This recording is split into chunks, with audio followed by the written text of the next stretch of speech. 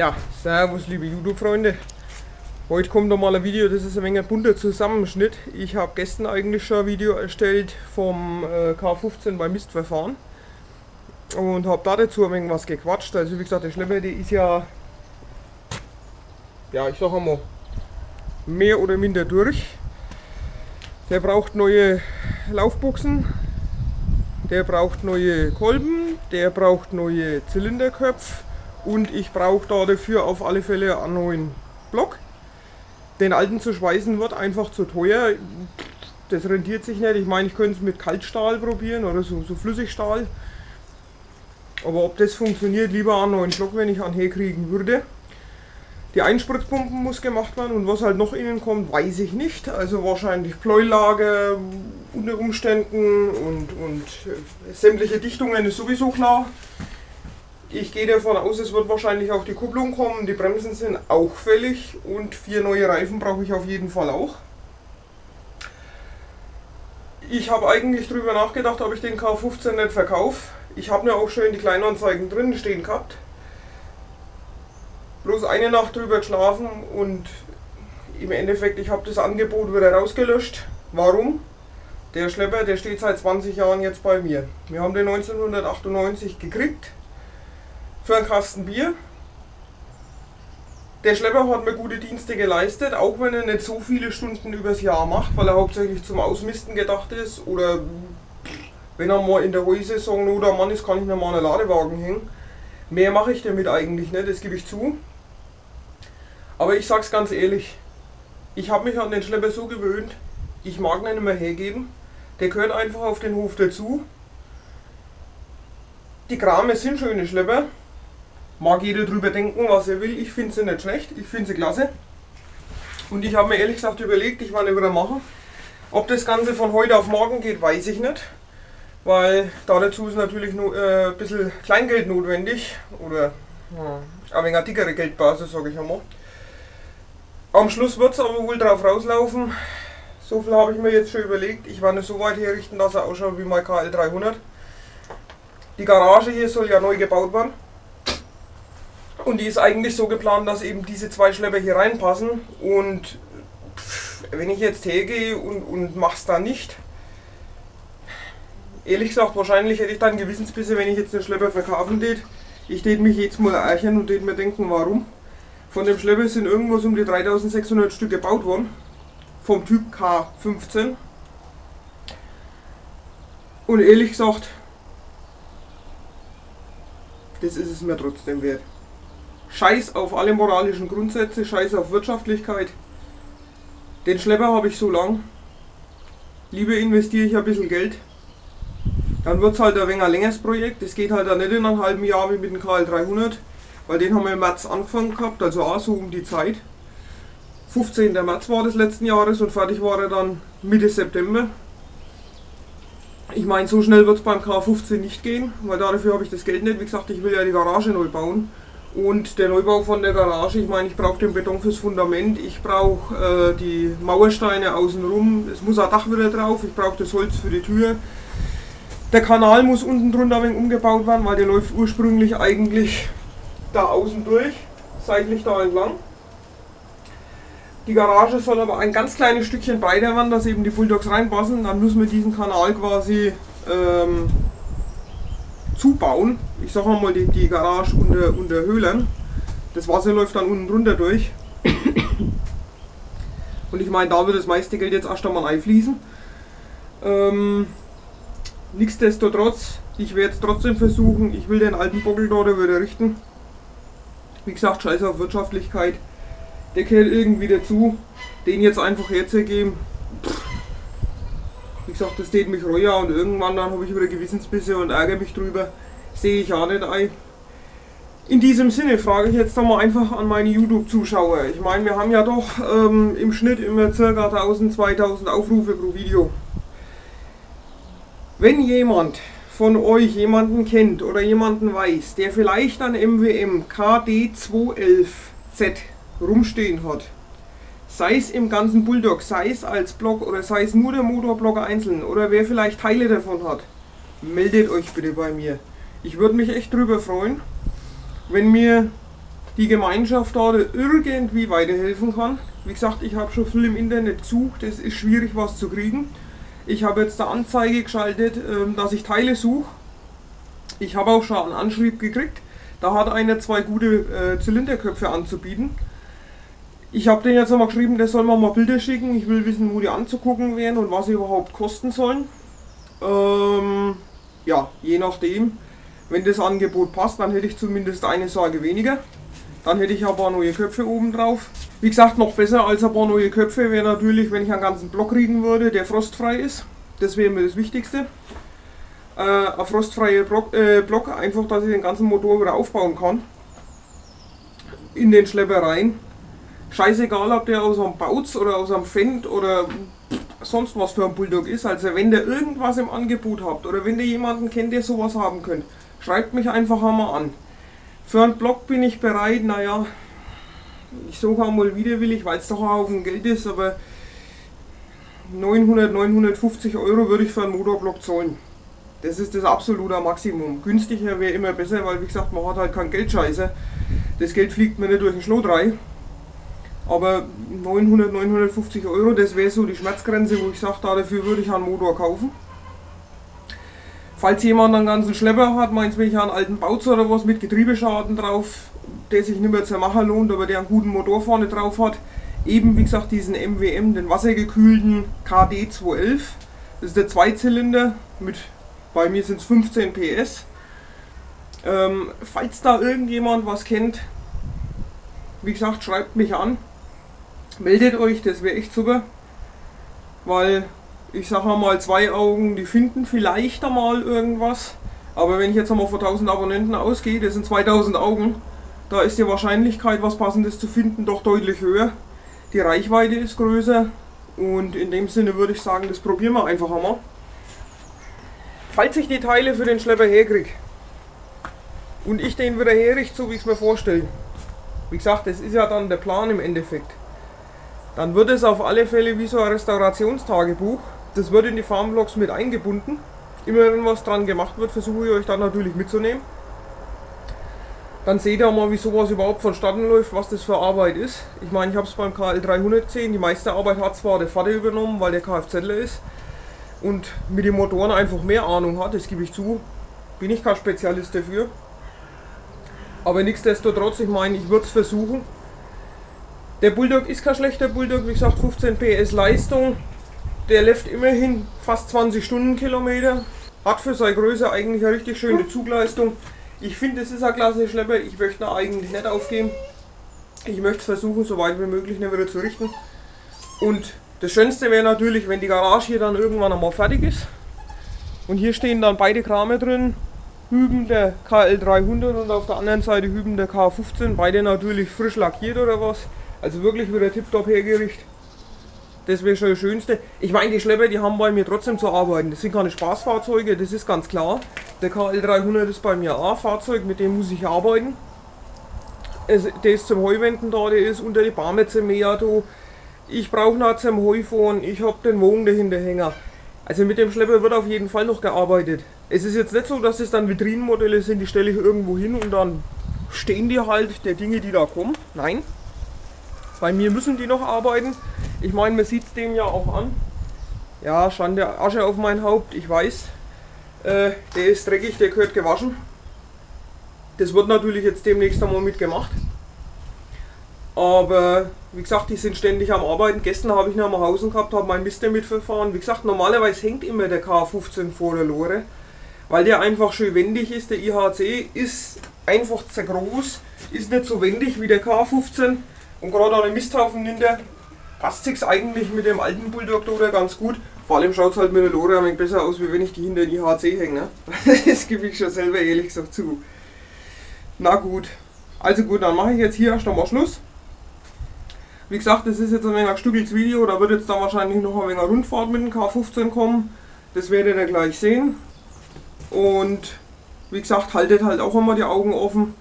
Vielleicht hat ja der eine oder andere noch was. Wie gesagt, ich zeige gerne noch einmal die eingeschlagene Nummer im Block. Wie gesagt, da steht's.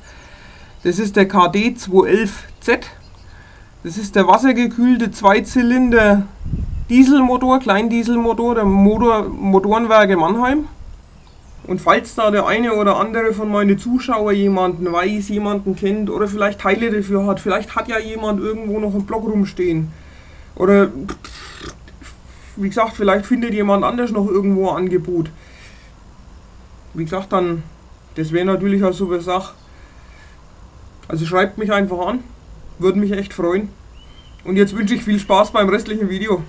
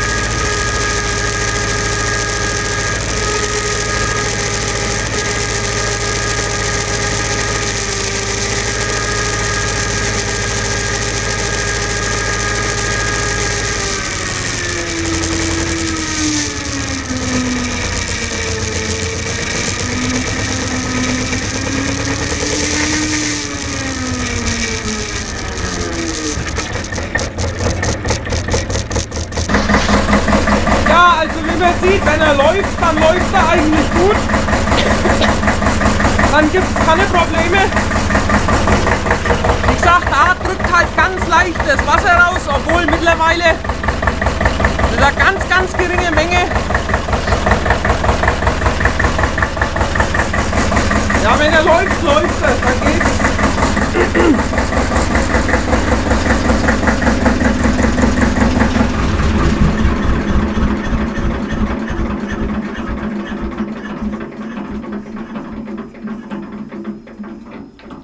Ja, also liebe Freunde, ich hoffe, das heutige Video hat euch gefallen. Ich sitze jetzt gerade vorm Computer. Es ist Mittwochabend. Den ersten Teil von meinem Video habe ich am Dienstag früh, also gestern früh gesprochen. Das Video mit dem Fahren selber ist am Montag entstanden, an meinem freien Tag. Ja, jetzt hat sich heute so ergeben, ich habe einen sehr netten Kontakt gefunden, ähm, mit dem habe ich heute telefoniert. Die sind quasi ja, mehr oder minder aus dem Nachbarort oder ich sage mal, was heißt Nachbarort? Ähm, ich habe ja mal mit dem Kramer damals Milch geholt gehabt für mich und nur eine Ortschaft weiter, also von uns aus hier sind es 20 Kilometer. Da hat einer an 14er Bautz. Der hat noch äh, teilweise Ersatzteile rumliegen, Köpfe zwar nicht.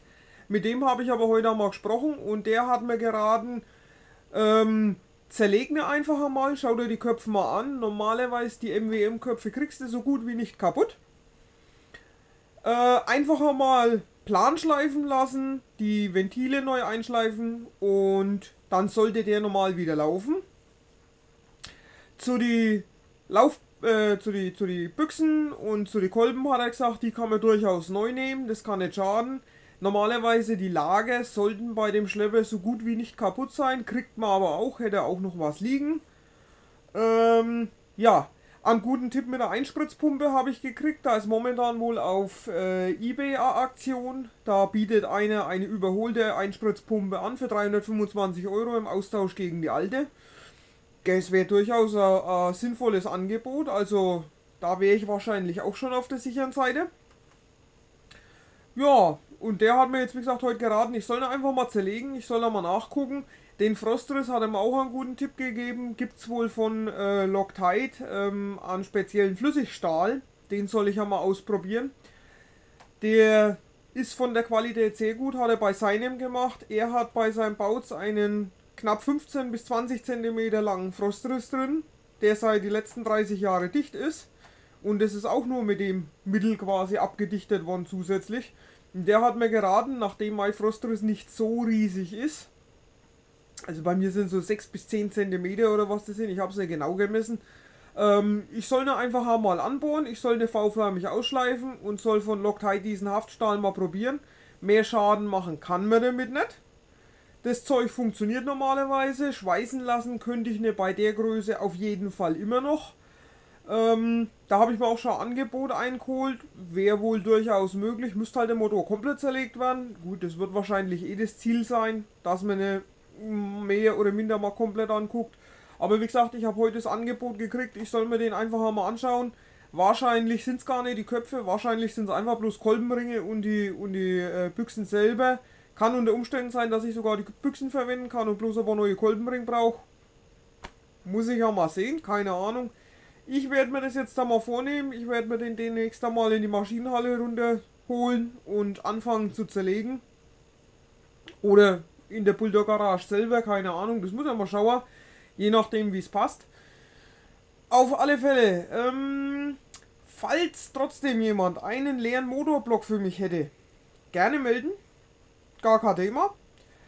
Einspritzpumpen, falls da noch jemand was liegen hat, auch gerne mal melden. Ähm, aktuell, wie gesagt, habe ich die aus äh, eBay noch nicht. Den werde ich erst einmal anschreiben, wie das überhaupt ausschaut.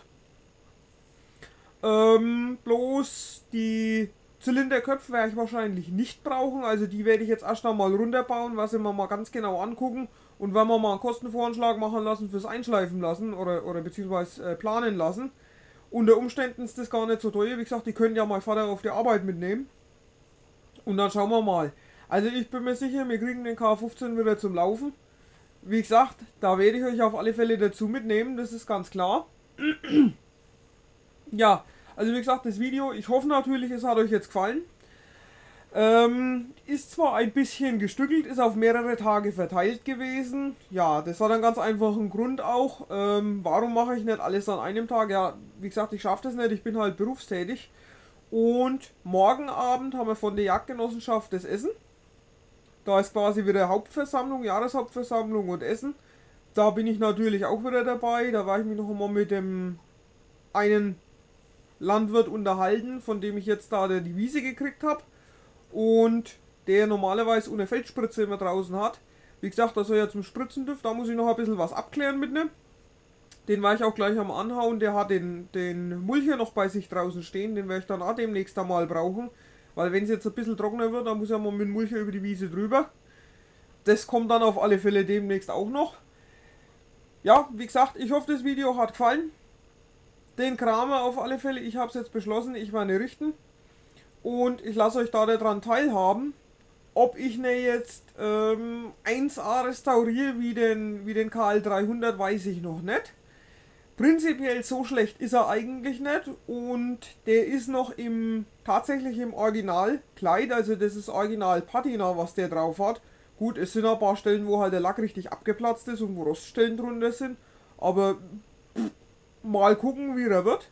Wenn ich ihn überhaupt zum Laufen kriege, dann kommen bloß vier neue Reifen drauf, dann wird er mal so überarbeitet, dass der Motor wieder sauber läuft, dass alles funktioniert.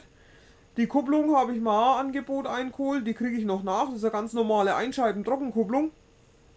Die dürfte auch kein Problem sein und die Bremsen werde ich wahrscheinlich beim Bremsenschöbel in Nürnberg aufkleben lassen. Da sind die vom KL300 auch gemacht worden. Ja, und dann wollen wir noch den K15 so weit wieder technisch flott kriegen, dass der auch wieder fährt. Warnblinkschalter habe ich mir auch schon rausgesucht, da kommt der neue rein, der alte ist kaputt. Dann funktioniert die Elektrik soweit auch wieder. Und dann denke ich ja mal, dann wird irgendwann einmal der TÜV fällig werden. Gut, das kommt jetzt natürlich darauf an, ob ich eine frisch lackiere oder ob ich eine so lasse, wie er ist. Je nachdem. Auf alle Fälle kommen dann einmal Papiere dafür, dann wird TÜV gemacht und dann kommt das Ding mir auch wieder auf die Straße. Äh, wie gesagt, ich brauche zwar nicht so viel, aber wenn man einen vierten Schlepper hat, ähm, ist nie verkehrt, man kann ihn immer mal brauchen sei es im Sommer, es ist ein Monodermann, du brauchst nicht vom Ladewagen oder sonst was. So habe ich den vierten Schlepper noch zur Verfügung und kann den einfach nutzen. Und das wird auf alle Fälle jetzt gemacht. Wie gesagt, wie lange es dauert, das kann ich noch nicht sagen. Es pressiert mir nicht zu sehr. Aber gemacht wird er. Na gut, in diesem Sinne, ich wünsche euch jetzt, weil im Video ist ja jetzt Freitag, ich wünsche euch ein schönes Wochenende und man sieht sich demnächst. Servus, bis zum nächsten Mal.